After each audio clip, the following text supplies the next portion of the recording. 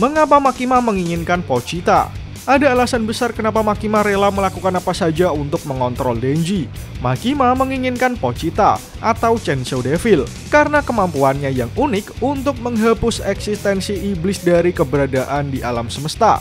Dia ingin memanfaatkan kekuatan Pochita dengan harapan menciptakan dunia yang lebih baik. Namun Makima juga ingin bersama Pochita dan hidup sebagai keluarga yang bahagia. Namun sayangnya, Makima terlalu berlebihan dalam mengincar Pochita sehingga banyak karakter yang menjadi korban.